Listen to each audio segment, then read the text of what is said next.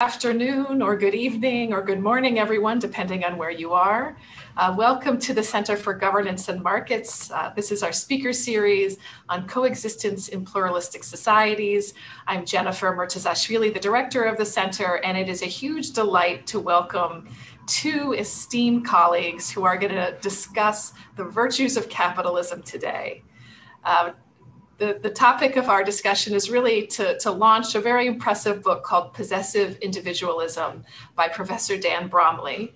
And Professor Bromley is the Anderson Bascom Emeritus Professor of Applied Economics at the University of Wisconsin Madison. He's a fellow of the Association of Environmental and Resource Economics and of the Agricultural and Applied Economics Association. In 2012, he received the Reimar Lust Prize from the Alexander von Humboldt Foundation. And he's written, I think this is your 16th book, Professor, um, that explores processes of institutional change. He's made substantial contributions to public policy as well, having served as chair of the Federal Advisory Committee on Marine Protected Areas, including many others. And his research concerns the institutional foundations of economic systems. And so, responding to Professor Bromley today, we have Professor Mark Pennington, who's a professor of political economy and public policy in the Department of Political Economy at King's College in London. He's currently the director of the Center for the Study of Governance and Society there. His work takes place at the intersection of philosophy, politics, and economics, with a particular focus on exploring problems of limited knowledge or bounded rationality and their relationship to ideal or non ideal theorizing in economics and political theory. And this approach was exemplified in his 2011 book, Robust Political Economy, Classical Liberalism, and the Future of Public Policy. It's already a classic. If you haven't read it, I encourage you to do so. So, without further ado, I'm going to introduce, uh, I'll allow Professor Bromley to take the stage. And I just want to encourage our audience uh, to let you all know that um, you should uh, include your questions. There'll be time for Q&A after our uh, presenters uh, speak today. And if, if, you have questions at any point, please put them in the Q&A box and we'll make sure that we get to them during the course of our conversation. So without further ado, Professor Bromley, the floor is yours. Thank you, Jen, for this opportunity to visit about my recent book, Possessive Individualism, A Crisis of Capitalism. Those of us who write books do so in order that we might learn something. We want to teach ourselves about surprising events out in the world. It's a diagnostic undertaking. We call it abduction. It is the act of drawing inferences that might lead to possible reasons for surprising phenomena. The origin of my puzzlement can be placed in late 2009, just as the world was emerging from the Great Recession. I was teaching at Humboldt University in Berlin and was invited to give the annual Helmholtz lecture. The event took place just as Germans were celebrating the 20th anniversary of the breach of the Berlin Wall.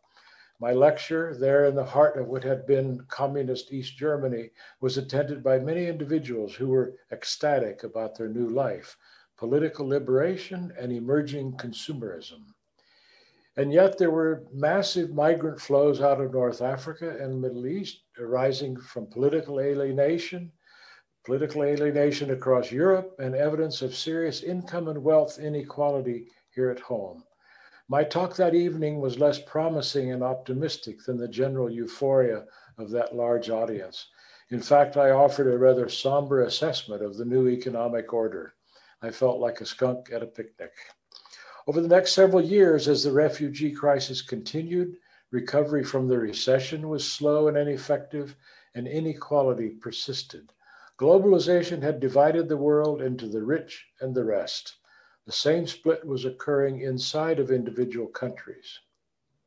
Early in 2016, an angry real estate developer and TV huckster with no experience in government became the presidential nominee of one of our major political parties. Then the British people voted to quit the European Union. Here were two surprising events that demanded diagnosis. I started work on this book in May of 2016. The diagnostician begins by advancing hypotheses, which, if found plausible, might stand as explanations of, reasons for the surprising events on offer. The more I observe the anger on display, both in the US and in Britain, the more I became convinced that the usual explanations were missing something quite important. In my exploratory work, I rediscovered a book that I had first encountered in the 1980s by the Canadian political philosopher C.B. Macpherson. His book, entitled The Political Theory of Possessive Individualism, offered a vocabulary and a conceptual framework to help me understand what I was observing. From this beginning, I thought I might be able to tell a plausible story. The book is set in three parts. Part one is entitled The Problematic Triumph of Capitalism. Here I develop the conceptual framework that underpins the story I need to tell. We find in this part of the book an account of the creation of the individual as a thinking being, finally liberated from dogma and superstition that had ruled humans from the beginning of time. This mental awakening is known as the Enlightenment. This newly created individual was now free to think, free to choose. But what guidance was there to help thinking. The happiness of the individual, her accomplishments and satisfactions, offered a plausible substitute for customary duties and obligations. And what systematic framework offered better guidance than the emerging field of economics? Here was a framework that rendered individual happiness both measurable and morally legitimate. The discipline of economics gradually evolved to reassure us that maximizing individual happiness we call it utility, was rational. After all, the deeply religious Immanuel Kant, agonizing over the loss of sacred doctrinal truths, reassured us that morality was rational and that it was rational to be moral. As contemporary economics evolved in the 19th and earliest 20th centuries, and as it became increasingly preoccupied with the happiness of this created individual the age of the possessive individual came to be seen as normal. How lucky we could now regard self interest as moral and rational. My major claim in the book is that possessive individualism is both the effect and the cause of the gradual evolution of modern capitalism that began in the 17th century in England.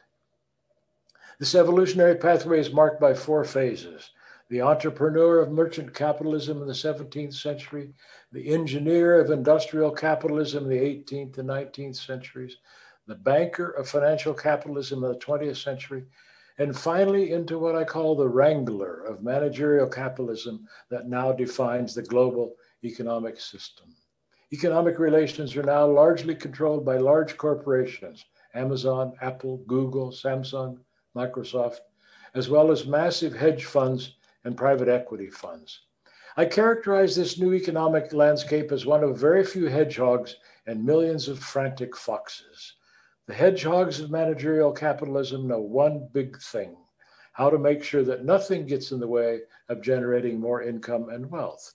They control global capitalism and can render workers anywhere in the world unemployed in an instant. Meanwhile, millions of isolated households have become like foxes, wily scavengers constantly searching for ways to make a living.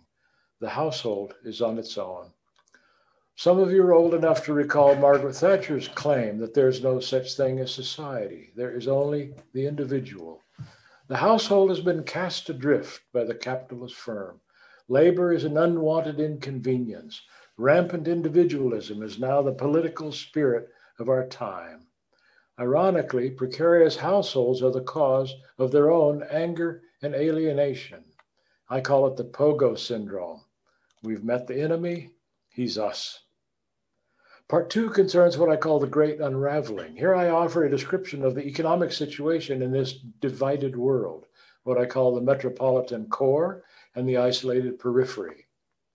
The metropolitan core is the heart of managerial capitalism.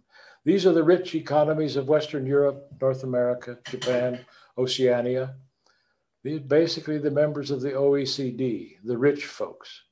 The isolated periphery is all of the rest, most of Asia, Latin America, the Middle East, and Africa. Per capita GDP in the metropolitan core is approximately $40,000 per year.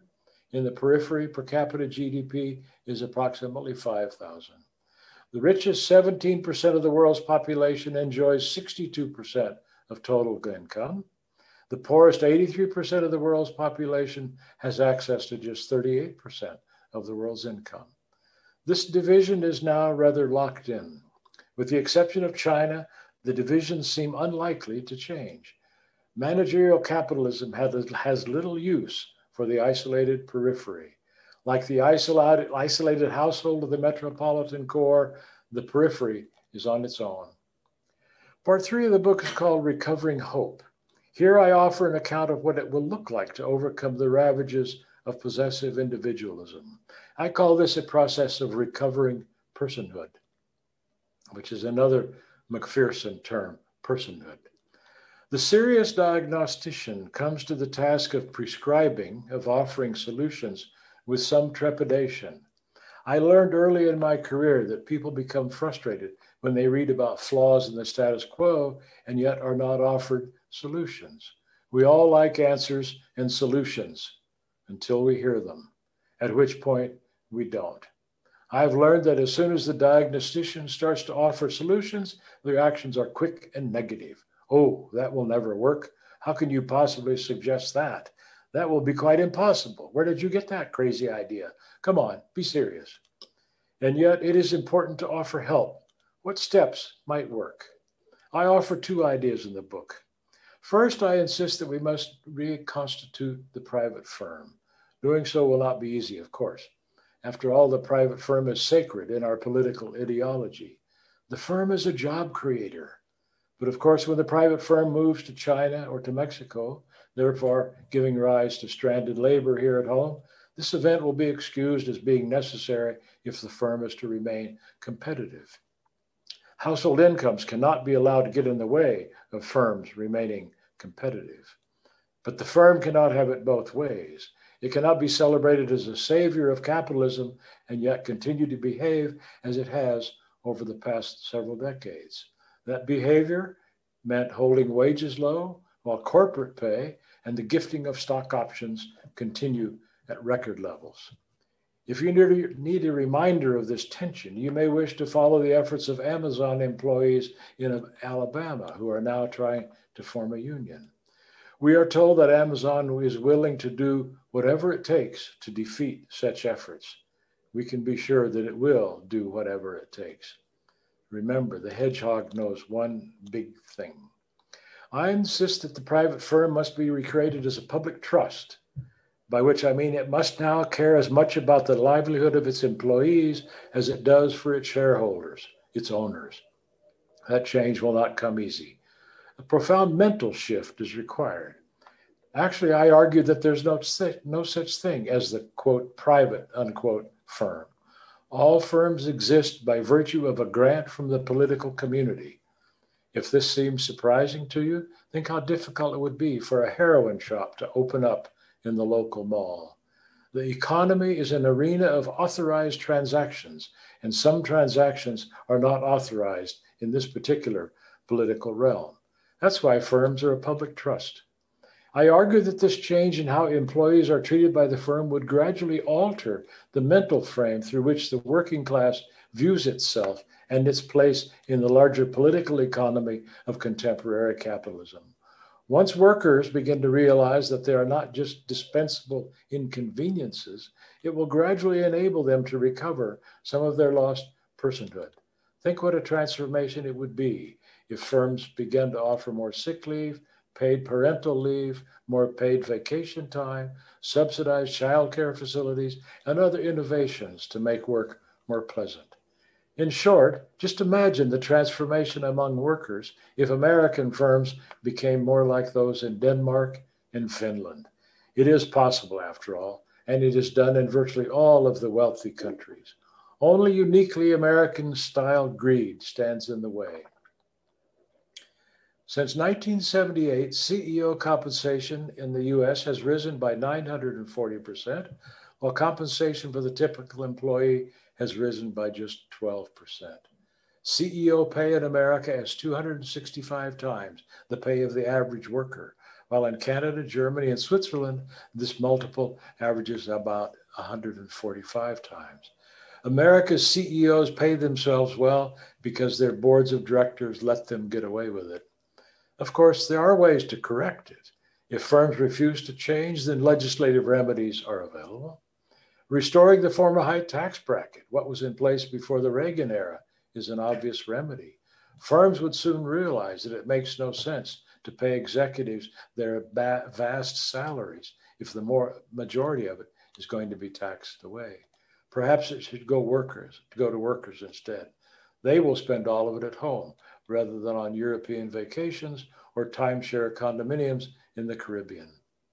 The point here is that there is nothing structurally determined in capitalism that explains America's signal minded disregard for the household. It is our version of capitalism that delivers these defective outcomes. I like to say that capitalism is like meatloaf. There are many versions. We do not need to abandon capitalism. We need to force it to be a source of good. We want better tasting meatloaf.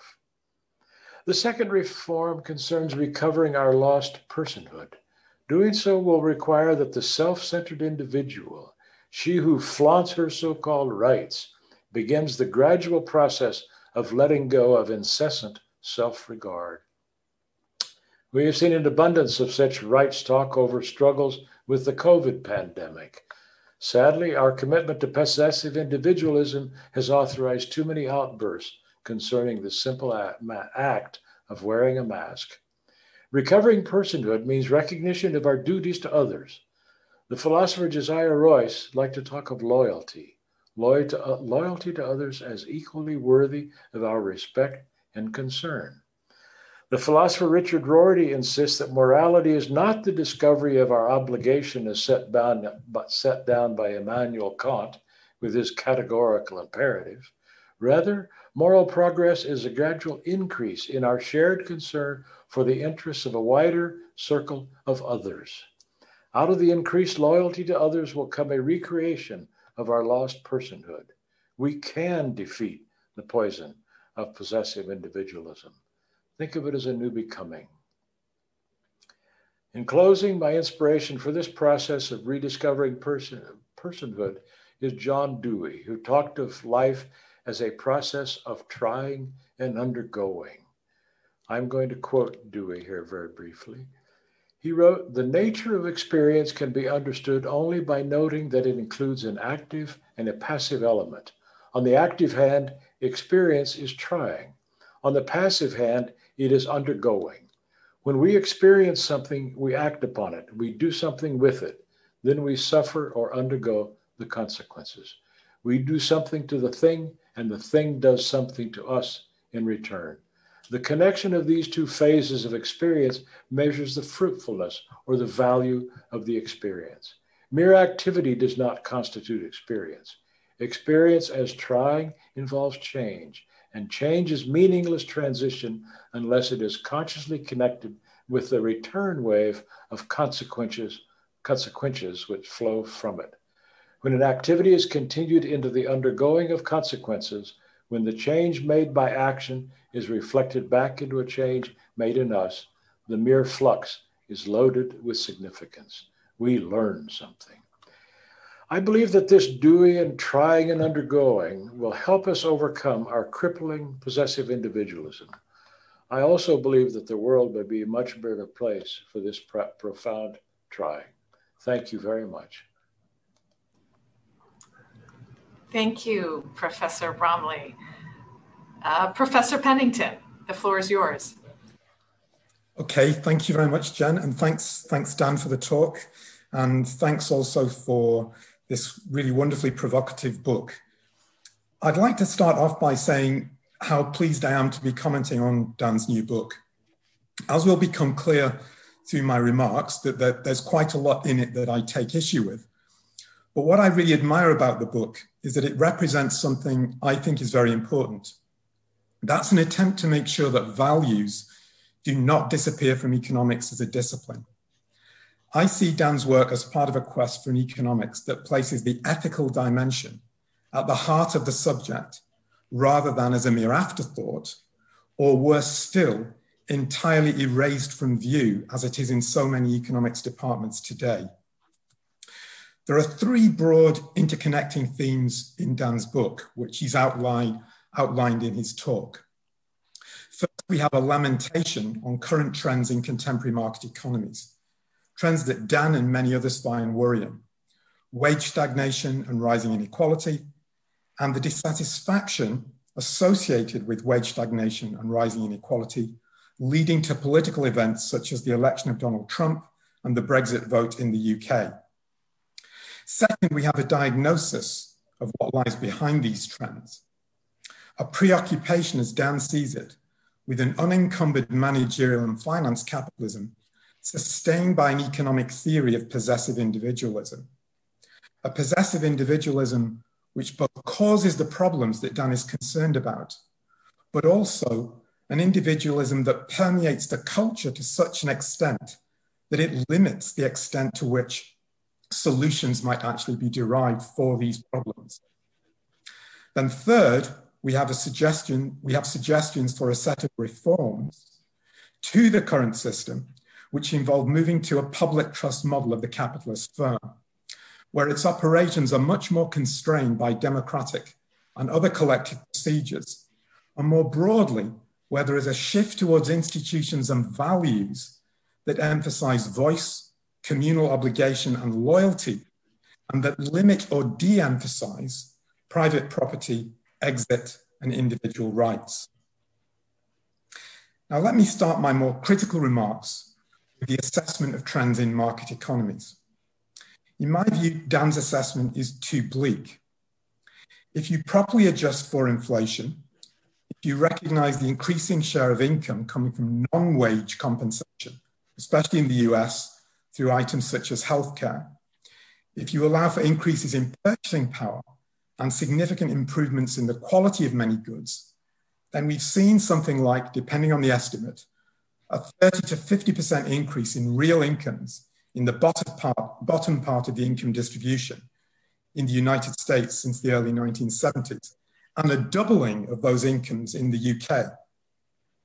These are not spectacular gains by historical standards, but they do indicate steady progress especially when you allow for the huge increase in female labour market participation and the significant absorption of immigrants into the labour market. I very much recommend Neil Gilbert's recent book, Never Enough Capitalism and the Progressive Spirit, for a good discussion of these trends. Now, it's true, of course, that inequality in the US and the UK has increased during this period. In the UK, there's not really been any change actually since the late 1990s. But some of the factors that may have contributed to this increase in inequality, such as a relative expansion in the role of globally oriented corporations and the superstar CEOs that run them, have also been factors that have led to a reduction of global inequality. The last 30 to 40 years, it should not be forgotten, have seen an unprecedented reduction of global, of global poverty. But as Branko Milanovic has also shown, the last 20 years have also seen a significant reduction of global inequality. That is partly because of what's happened in China and India, which in different ways have experimented with a controlled liberalization of their economies. But it's not only China and India, it's much of Southeast Asia and increasingly parts of Africa, though sadly not the Middle East and North Africa. If incomes are rising, if global inequality is falling, then from an ethical standpoint, how significant is a rise in inequality within the US, the UK, or similar countries? And why does this equate to a crisis of capitalism? That's a question I don't think Dan fully addresses in his book. Let me move next to Dan's diagnosis. I've no problem with accepting that to a very significant extent, we do live in a world of managerial and financial capitalism. But in my view, that, that capitalism is not as footloose and fancy free as Dan suggests. First, firms do not just move to the lowest cost location. They often have reason to value an educated or well trained workforce or to value public infrastructure. And often that doesn't always mean moving to where wages are lowest or where taxes are lowest. Second, while states don't have as much bargaining power as Dan might like them to do, whether individually or through blocs such as the European Union, they do have considerable bargaining power. The level of personal and corporate taxes in most developed nations has been stable or rising throughout the last 30 to 40 years. And in the UK, which I'm most, most familiar with, the tax burden is about to reach levels last seen in the late 1960s. There's also a growing burden of regulation.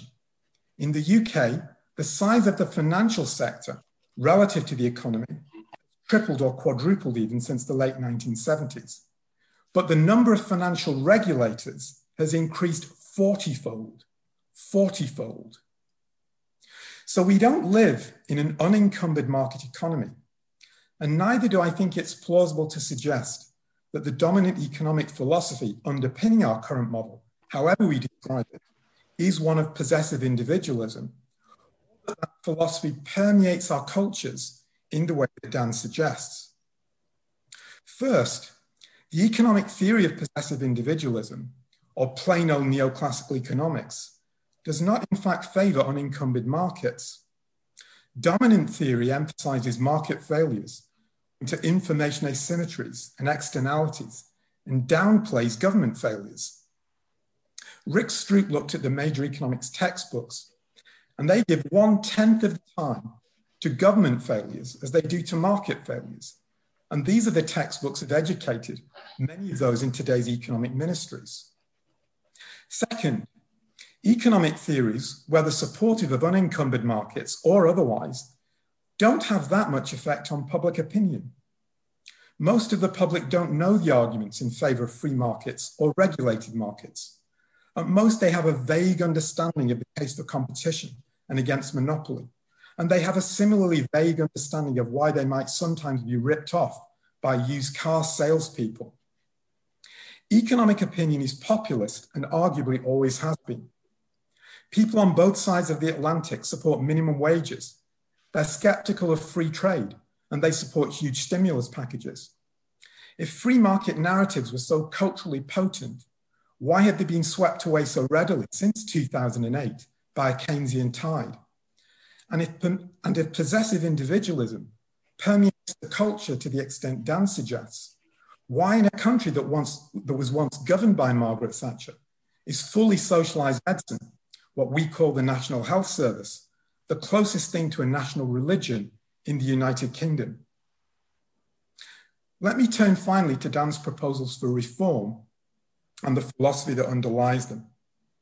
Dan wants us to re envisage the private firm, to move away from a model that emphasizes entrepreneurial freedom and shareholder value to one that emphasizes communal obligations of property owners to various community stakeholders. This is a social license to operate model, and it implies higher obligations for property owners in the form of higher taxes, but also limits on the scope for en enterprises to exercise the exit option by, for example, moving overseas. But it's not only the right of exit of firms that Dan wants to limit. He also wants a more general reorientation of our political economic discourse away from individual rights and consumer choice towards more of a loyalty based model, which replaces shopping around for the cheapest price or highest convenience with a model where people deliberate collectively about the effect of their decisions on communal values.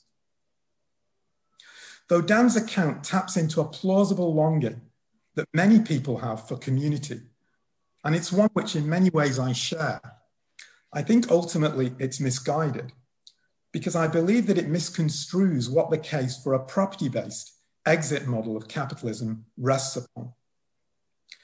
The case for liberal market capitalism is not based on a possessive individualism, which assumes that the only obligations one has are to oneself. Private property and individual rights are an attempt to provide the basis for an extended form of social cooperation. They are the foundation on which obligations to others might be willingly assumed. Dan referred to Margaret Thatcher's statement about there being no such thing as society. Let me quote Margaret Thatcher in full. I recommend if you haven't read the interview in which this quote comes from, that, that you actually look it up. It's from an interview she gave to the Woman's Own magazine in the autumn of 1987. This is what she says There is no such thing as society. There is a living tapestry of men and women and people. And the beauty of that tapestry and the quality of our lives will depend upon how much each of us is prepared to take responsibility for ourselves, and each of us prepared to turn round and help by our own efforts those who are unfortunate. On the liberal view that I would defend, the tapestry that Mrs. Thatcher referred to will not be created if you start by expecting people to agree on too much, not only with respect to their personal needs and preferences, but also with respect to their other regarding or communal values, the cultural, aesthetic, and religious codes they may wish to live by.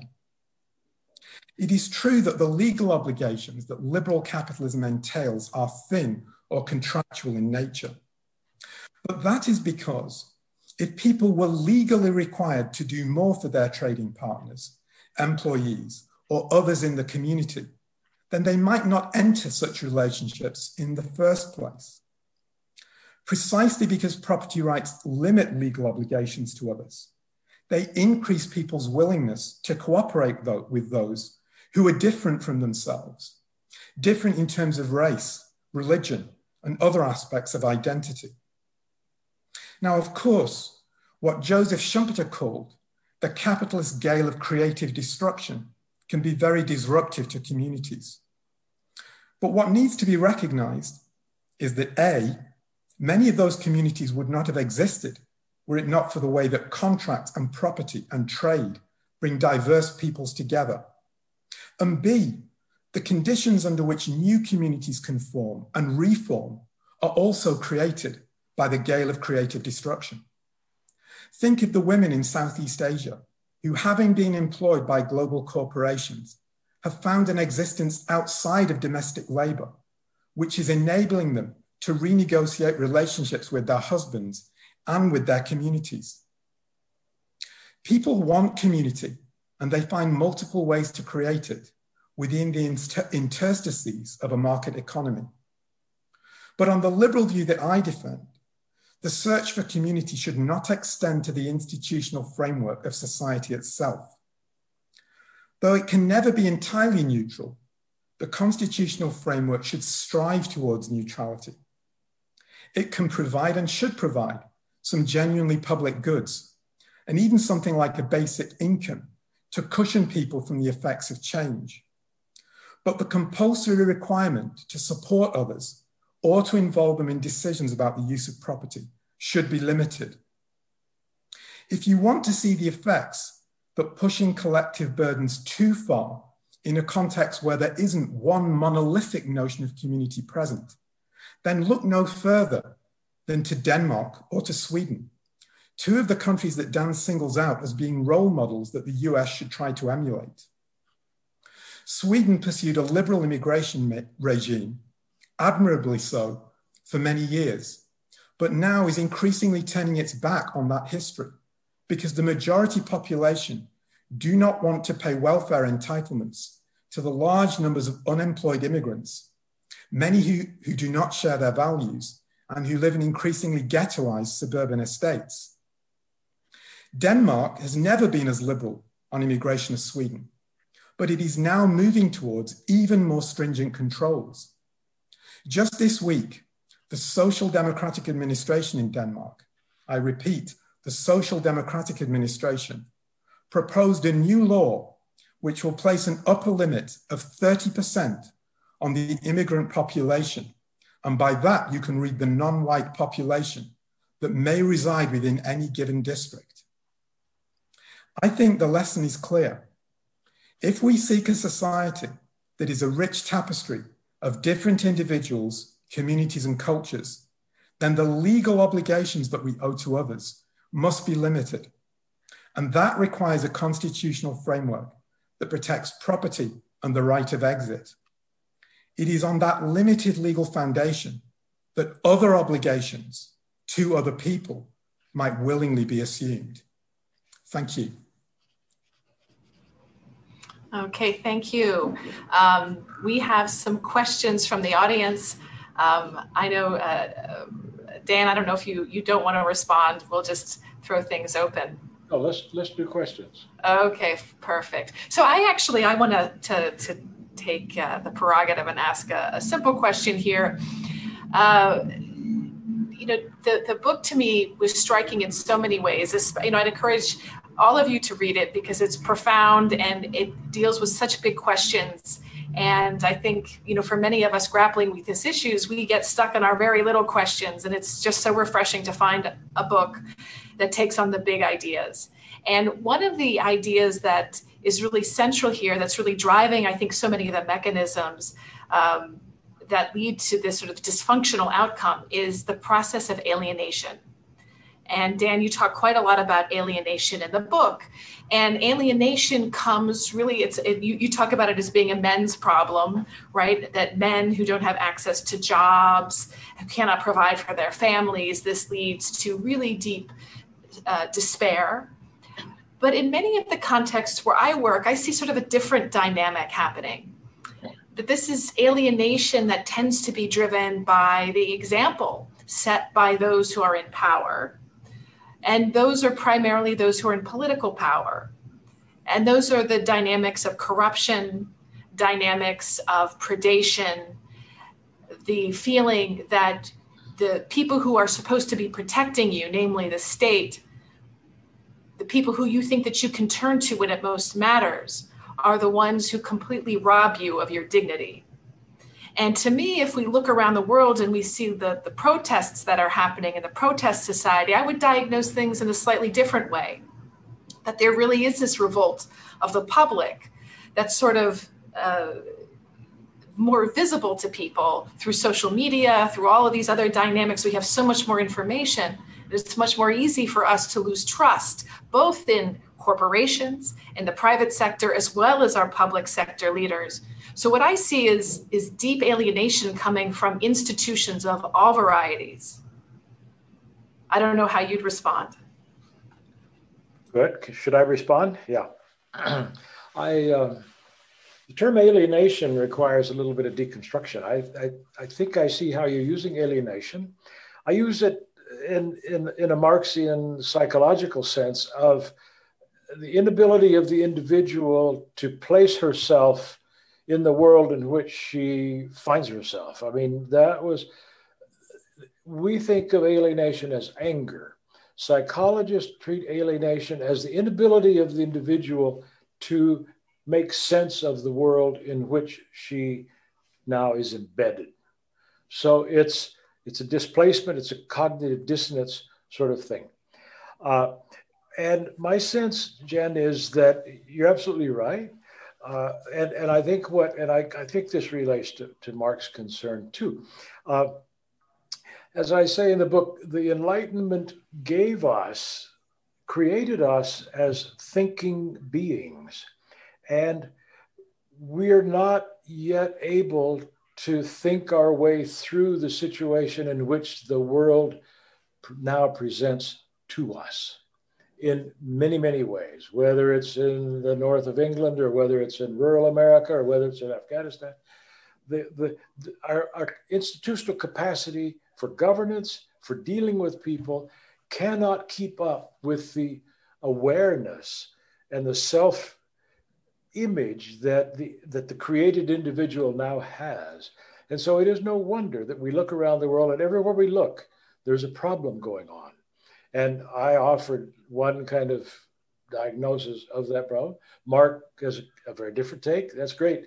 We st- i still don't think we know jen. So it's I'm, I'm not sure i'm answering you but in a sense I, I say no wonder there's so much alienation in the world. The world is a really awful place, awful in the sense of fit and so on. So I don't mean awful in the sense that Mark would object to, but the world is, is a heck of a place, isn't it? Because we've now created the individual to think for herself, and everywhere she looks or he looks, he finds a problem. And I don't like Mark's answer. He doesn't like my answer or his solution, my solution. But I think that's what we're facing, Jen. We're still living out the entailments of the Enlightenment. And, and we're not smart enough, our political capacity is not smart enough to reckon with all of that dissonance that's going on. Have I responded, Jen? You have. Mark, I don't know if you want to add anything. Um, I mean, I, I think I would add that I think there is a, a sense of alienation of large parts of the population um, from elites. There's no doubt about that. I, I, I, agree with that very much. And I think that's what explains Donald Trump. I think it's what explains the Brexit vote. But I, and this is probably reflecting my ideological biases, I think that is a lot to do with the fact that people feel that elites don't share their values. So I grew up in the north of England. I grew up in a, in a town called Wigan, um, which is the, the place George Orwell wrote, wrote about, the, the road uh, from Wigan Pier. It's an old textile town, mining town, jobs decimated in the 1980s, all of those stories. The people in that town, I don't think particularly object to the idea of having to adapt to you know, the ravages of global capitalism, however you want to describe it. But what they do object to, and I think this is what drove many of them to vote for Brexit, did, was the sense that the elites, the people who run the country, the people who run financial institutions, the European Union, actually detest their values, which are broadly speaking culturally conservative values. Now, I'm not a cultural conservative, I'm a, I'm a cosmopolitan. But lots of people in the the elite who are cosmopolitans like me give the impression of really having no sympathy at all with the kind of value system that other people have. And that's a huge problem. And I, I don't know how that can be overcome. Could I could I reinterpret your what you just expressed, Mark? My answer, my my hypothesis would be it's not that the the, the uh, shall we call them the alienated folks. My sense is they look to the elites for answers. I don't think their, their frustration comes from the fact that they don't think the elites understand them. They look to the elites for answers to their alienation, to their material deprivation, and they don't see the elites offering it. And that's very different. It's, it's not that they think the elites don't share their values or what have you. We are, and I think this explains why we see the rise of strong men, if I can use that term. Uh, strong men who say, Trust me, I can fix your problems. Why are those kind of tropes so compelling to the people who feel disenfranchised? They are compelling because we still, as humans, look to somebody to provide answers, whether it's a father figure or a big man in the village or whatever. And we don't see it coming from the elites. And then there, if, if, if I can extend it, then if we don't see that answer coming from the elites, and the elites don't have an answer to the dilemma, partly because, as I say in my book, the elites have been socialized and educated into a mindset that you don't need to solve these problems because the market will take care of everything. Just let the market work it out.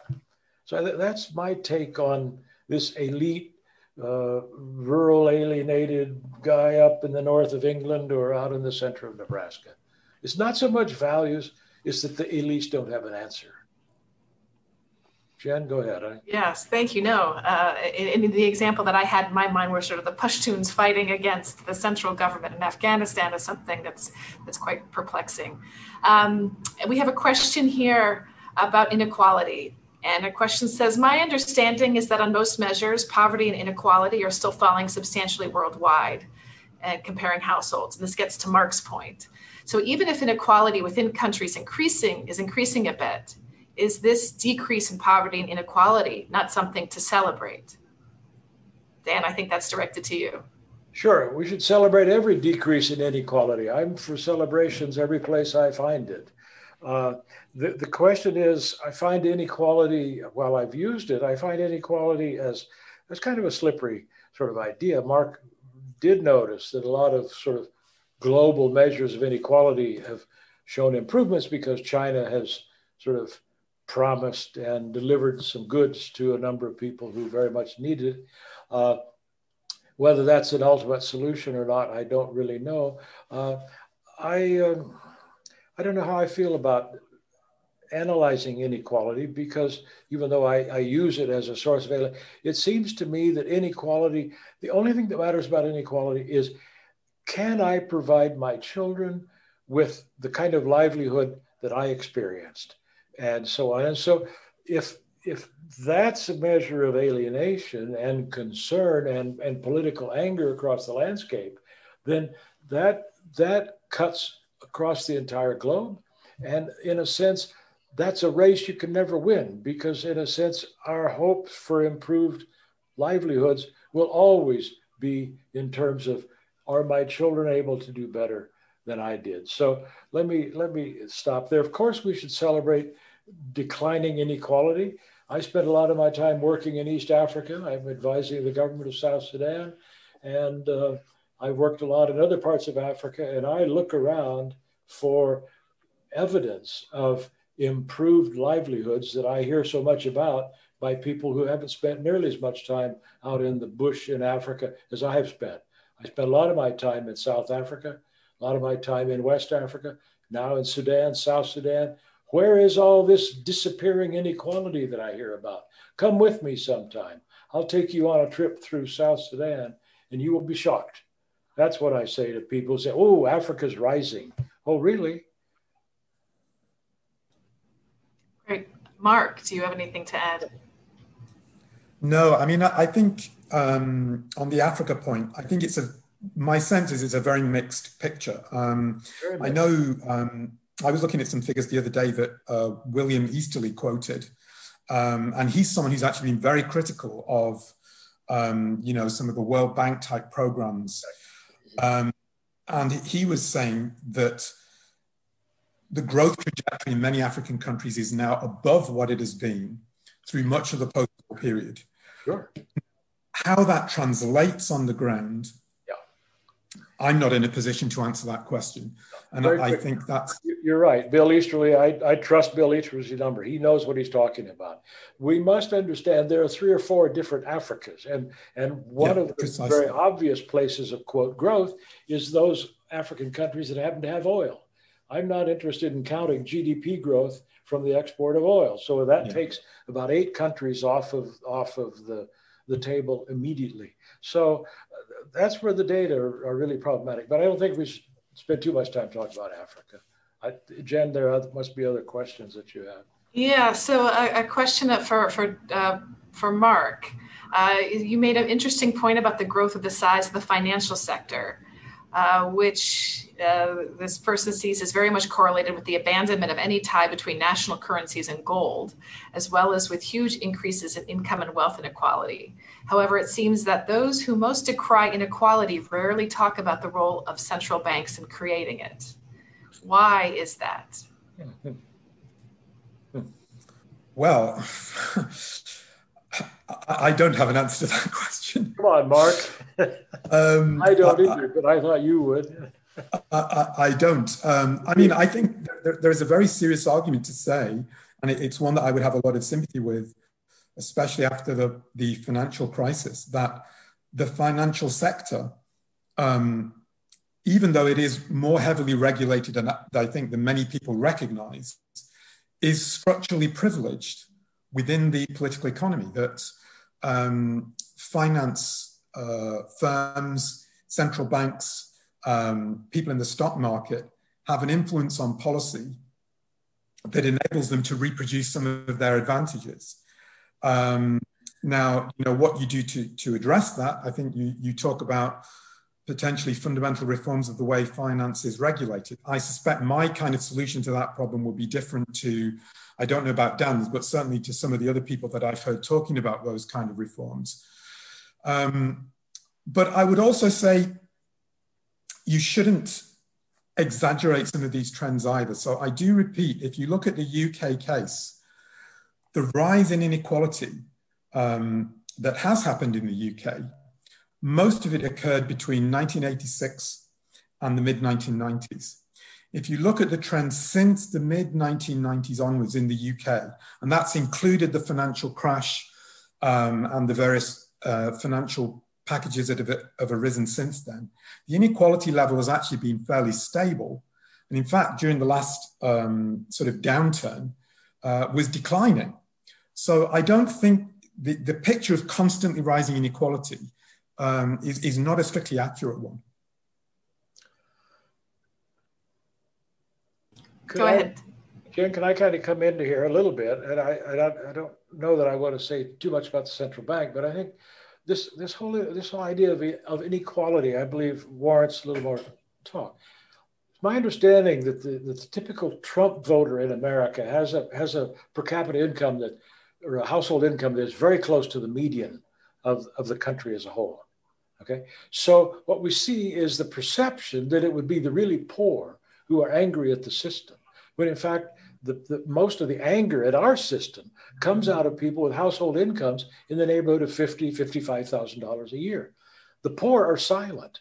Okay, the poor are not out there. So when we start talking about inequality and so on and alienation, I think we want to be clear where that alienation is coming from, what the socioeconomic categories are that articulate that alienation.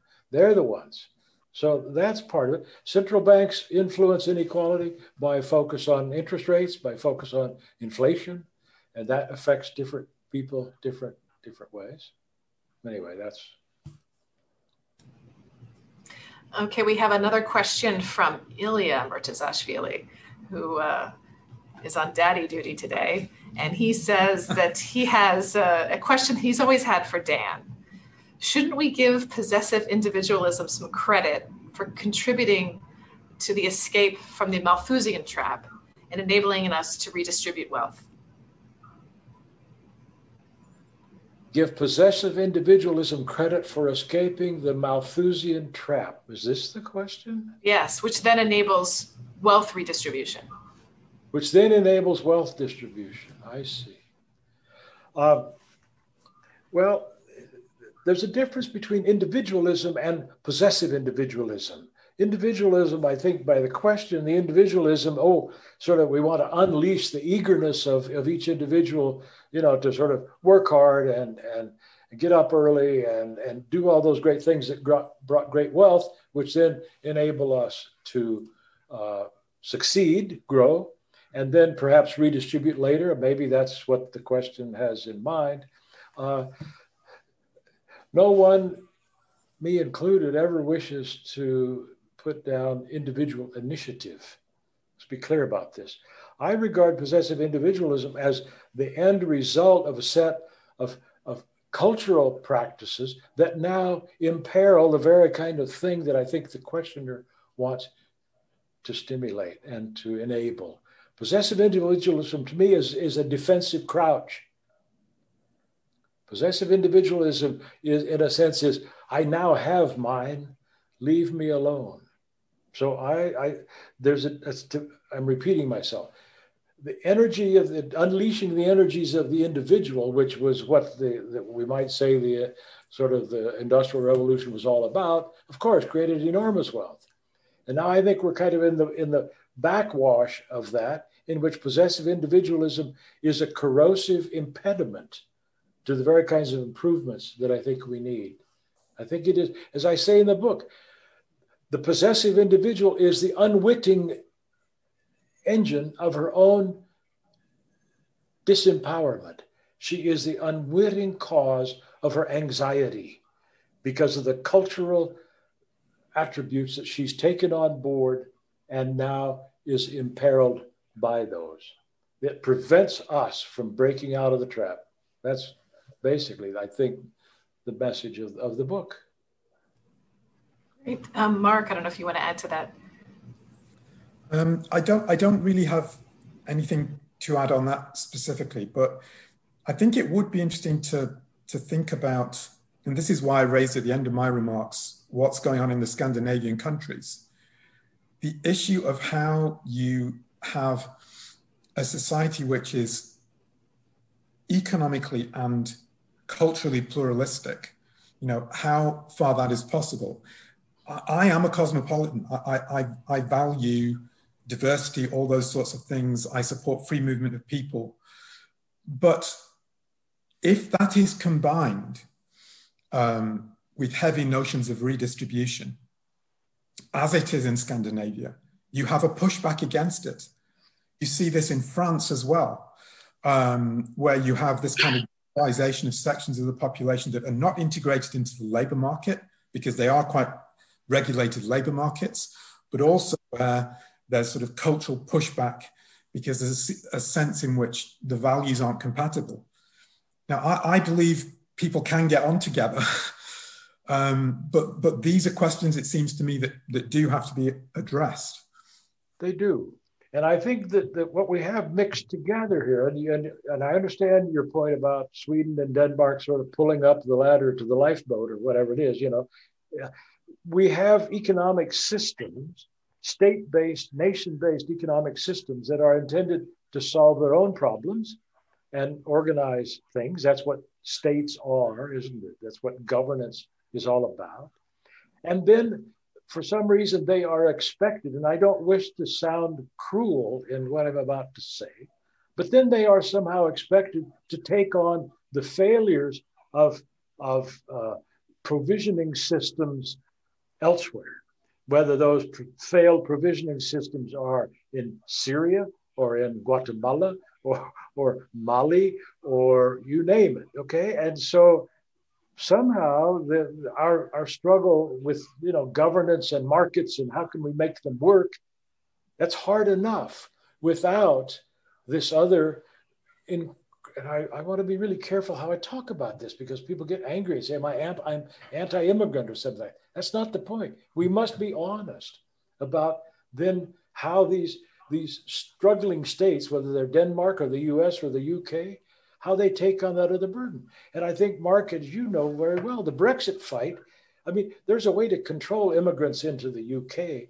coming from Syria. There was no way to control immigrants to the UK coming in from Poland the Polish hmm. plumber, right? I mean, that's where a lot of the anxiety in the north of England came from, wasn't it? Immigration from within a community called the European Union. That created much of the anger about Brexit, didn't it? It wasn't dark skinned people coming from Africa, it was Eastern Europeans wanting to be a plumber in England. I, I think the evidence, I'm actually not sure about that. I, th- I think there's something in that. Um, but I also think if you looked at what happened in the in the referendum campaign, one of the key moments is when the you know the Nigel Farage, who was involved in the, the UK Independence Party, raised the prospect quite deliberately of Turkey entering the European Union so that it would be an issue of basically Islamic immigration into the UK.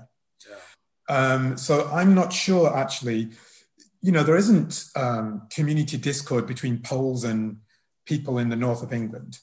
Uh, maybe there are concerns about the effects on wages at the lower end of the market, but um, I, am not so sure what the key driver was there. I mean, the problem in Britain is that Brexit has dominated so much of the debate for the last five years, and nobody really has a clue what happened. What did Other, we do and why, right? right? Yeah. Why did we do that? I forgot. So I'm going to wrap things up with with one final question, and and Dan, this actually comes from your own book, and to me, it was one of the most meaningful um, pieces uh, that I read uh, from the book. You write at the end of the very first chapter. Um, in this reflection section, you say that in today's fraught political and economic climate, it seems the world is full of people, excuse me, who are seldom right but never in doubt Doubt is the first step in the quest for reasons. Good reasons defeat doubt.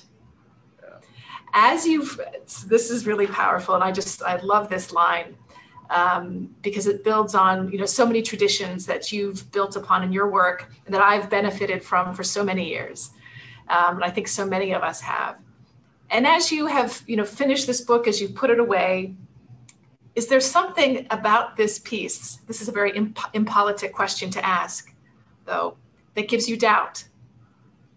As you've written this book, as you've put it away, what gives you doubt? It's written with such certainty. Good reasons to defeat doubt. You've given many reasons. But are there areas here that you doubt? Areas in the book that I doubt So that's the question. Do I now have doubt? Of course I have doubt. I doubt if I did a good enough job. I doubt if I was clear. Then I listened to Mark and I doubt if I if I made my arguments clear, not because I disagree with what he said, but if I if I, if I wasn't clear enough to head off the kinds of things that Mark brought up, then it's a defective product. And I, that's why you never want to have a, a, a, person who loves you review your work. You want to have somebody just hammer the heck out of you because then you say, aha, I didn't make that clear. So, of course, I have doubt. Every it's like raising children. You finish with this product and you look at them and say, uh, right? So, I, I you'd like to do stuff. Would I write this book again? Of course not. But I'd write a sequel to it in which I would take on Mark and and and try to confront the very nice comments or the you know the perceptive comments that Mark made. He's wrong on most of them, but this is not the place for that. So on that note, that answer you, Jen? Is that what you mean by that? I was, I yes, I was looking just for a figment of doubt. Mark, um, Mark should get a chance to tell me, you know, that I was mistaken in calling him wrong. But anyway, it's all in good faith. I loved his comments. Absolutely. That's why we do this. It's really yeah. important to us to do this. Um, echo chambers, who has time? Yeah. Uh, so, so I just want to thank you, Dan, for taking the time to share this book with us. I'd encourage everyone who's with us uh, to pick it up and to read it. Uh, whether you agree or disagree, it is just so much wonderful food for thought here, especially the discussion of pragmatism. And if you've never been exposed to Dan's work on pragmatism and volitional pragmatism, um, he delves into those those those issues uh, as well. Uh, Mark, enormous thanks to you for these extraordinary comments. Um, really just grateful for the, the time and care that you put into them. And to our audience for the excellent questions. And Dan, we are very much looking forward to the sequel. okay. Thanks. Thank you. Okay. Thank you. Bye bye. We'll see you soon. Bye bye. Thank you.